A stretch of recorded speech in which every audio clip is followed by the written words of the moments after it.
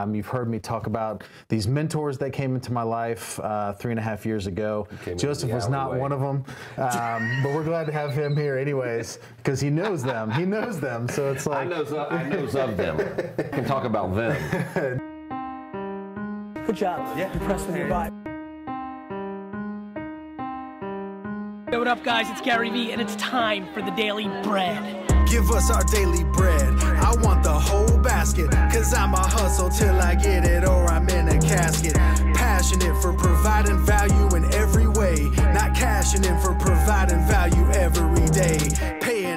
forward. Right thing, I'll do it till I'm dead. I hope you're hungry cause it's time for the daily bread.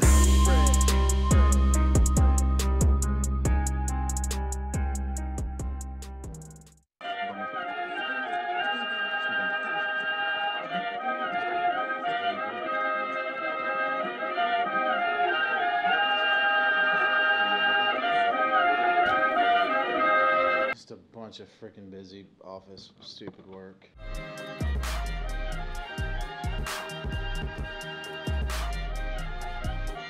Ready to do a couple phone calls? I am. Well, I do have a, I have a question. Yeah. Um,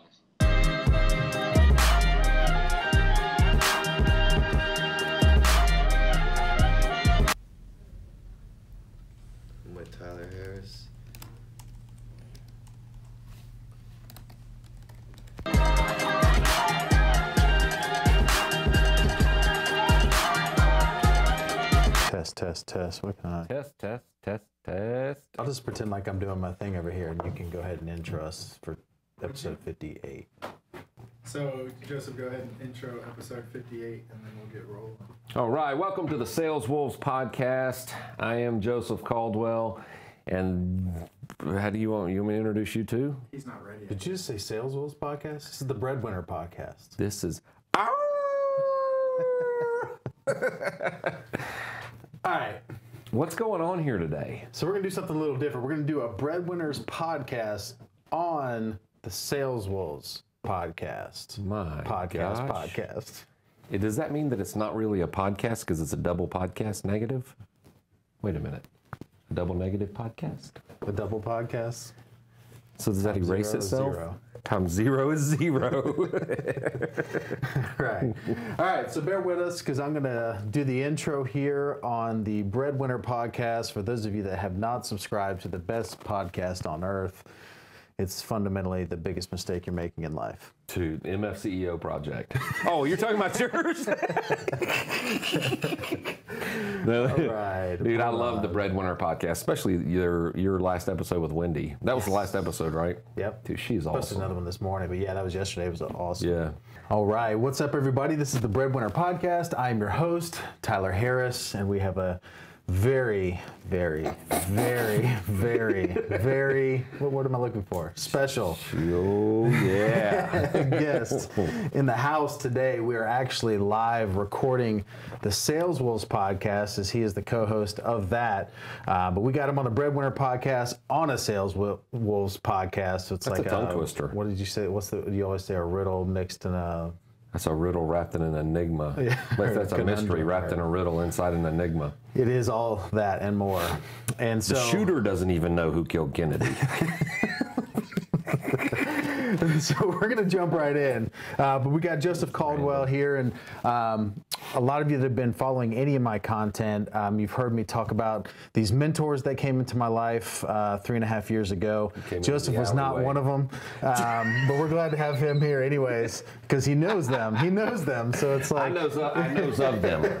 So I can talk about them. no, but in all reality, Joseph has been one of the biggest mentors and person that's been instrumental in this transformation that I've gone through over the past few years, and um, I'm extremely grateful for that. I'm not going to look him in the eye when I say it, but um, it's a podcast, so you didn't see it anyways. You only heard him not look me in the eye, and you can only imagine I'm sitting here petting a skull. So we're, we're- what we're going to do is we're going to give Joseph a couple of minutes just to introduce himself for those of you that have not gotten to meet him on the Sales Wolves podcast or on his social media yet. Um, but Joseph, tell everybody who you are, what you do, where you're from, um, Joseph anything Caldwell specific. from Black Mountain, from a very small town, Black Mountain, North Carolina. and um, CEO of Consolidated Assurance. We run the First Responder Task Force and uh, across the country. Um, that's how we met. But uh, but man, a little bit about myself. I'm nothing special. There's nothing special about me. already You, told them you've that. already you, you've already graced them with that. But uh, but that's what people don't understand is is is I have just realized where I wanted to go in life and what my purpose was, and surround myself with people like that are similar and wanting to go and do something special too.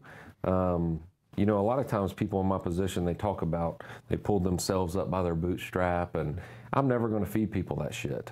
I'm not a self-made man. Uh, I look around and everything, most almost every decision I make, I've learned how to make that through mentors in my life. And so that's why it's such a special it's a special thing when you look down and not look me in the eye and call me a mentor. Don't spit that coffee or water you just drank. But uh, but anyway, that's that's a little bit. Married, four children, and four, I love my kids. Love my wife. Um, I have three daughters.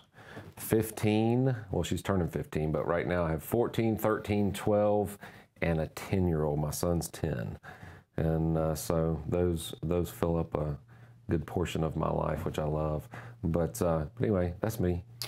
Awesome, man. So we're just going to jump right into the first question. So you and I both love this statement of the fact that every successful person has a painful story, and then the part we always tap onto the end where your painful story have a successful ending. So give us one of those. You've told me a few here lately that I hadn't heard before, uh, but give the the listeners one painful story that happened for you, not to you. Uh, that's made you who you are today. Yeah, so we had to. I mean, you know what? Everybody does what they have to do. Like I, I see people that are in situations and they don't have money, and and you do what you have to do, right? And so we could not, and by we, you know, like I like to include my wife in the we couldn't make it in those days. And then i like to just say i made it. No.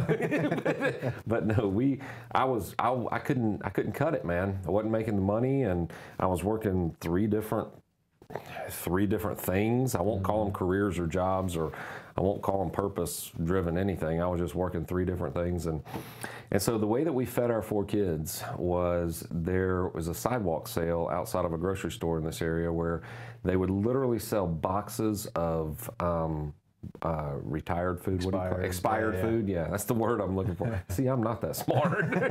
the food was retired um, on a beach in the islands, but uh, the the food was expired, and and some of it, some of it like six, eight months, two a year, year, two years expired. Yeah.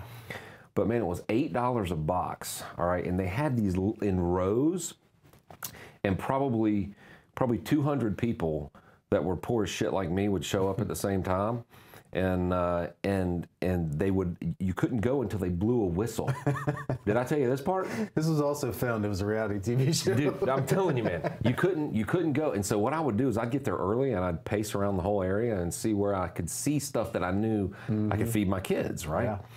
And uh, and stuff that stuff that probably would like cereal's not going to go bad if I could get you know 15 boxes of this obscure cereal that nobody on God's green earth wanted. You know what I'm saying? Like that was a win. And the boxes were eight bucks a box, and so literally, uh, my, my oldest can still remember because I take her.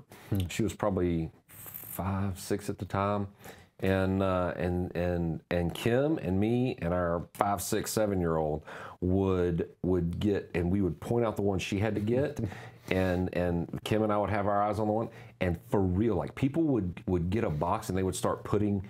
Like oh let's take this out of this box and put like they were shopping. Oh, yeah. Dude, I karate chopped them old people in the throat, and I would grab a box, put it on top of another box, put it on top of another box, and I would tote three at a time over to our space. And so sometimes we would put our kid guarding the space, right? Because people would mm-hmm. try to come come snatch shit out your box, and oh, I'd go and knock some old lady out, you know, that was probably on, you know, a you know, fixed income and wasn't mm-hmm. making it herself. But when you're in that situation, you can't really care about what other people are going through because you only care what you you can't you can't focus on anyone else when you when you're not making it. When the wolves are at your door, you don't care about the guy down the street where the wolves are devouring him. You can't. You can't. Because in that fear and anxiety place, it shuts down all of your frontal lobe and you mm-hmm. act out of instinct. You want to you got to make it. So literally I would get probably six to 10, 12 boxes, and uh, and we would go back and and and our kids thought it was Christmas every Saturday. Man, we would line this stuff up and section it all out, and that's how we ate. That's how I'm, we ate. I'm man. envisioning your daughter when everybody's standing in line waiting for this whistle, just kind of crawling around, tying everybody's shoelaces together.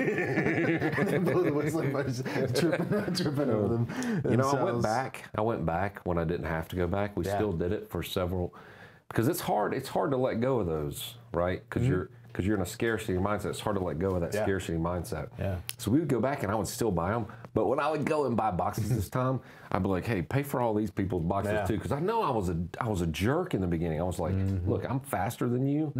I'm going to beat you to that box." Like people are like, "Oh, I've got that box there," and I'm like, "Yeah, you better be quick off the line, buddy."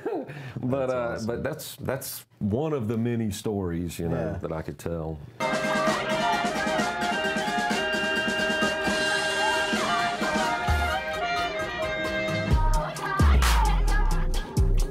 Hey Google, I need to I need to post. So I'm trying to figure out a caption for this post because the post says, "While you're looking for the finish line, I'm just getting started." I'm trying to think of like you know that phrase "a means to an end." I'm trying to think of a way to say like, what if um, what if the means to an end was the end? Like, what if because so many people like in their career they don't even look at a career like their job. They're like oh it's just a means to an end. But like what if that's the whole purpose of life is like the means is the end. Like the means is it's everything. Um, it's interesting. So how would you say that? So a means to an so what if what if a, what if the means to an end What if you was create? the end Yeah, like but it's um, not like it's not the end, but it's like it's the end goal. I feel brain dead. Tyler the thinker. Posting ain't easy.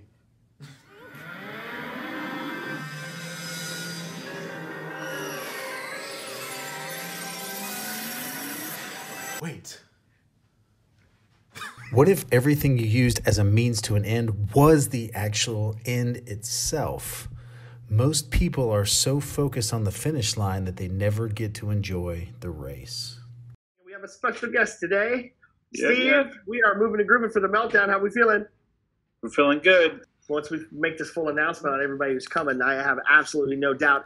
Ladies and gentlemen, it is an absolute honor to bring on somebody who's going to be joining us at the meltdown in the desert. You may see him from the Daily Bread. If you're following anything that's happening on social media, you see this dude and what he's doing. He is blasting through the universe. Please welcome our guest, Mr. Tyler Harris. What's happening, dude? What is up? Man, I'm glad to be here. my man, tell for so for people who don't know who you are, give give us a quick introduction.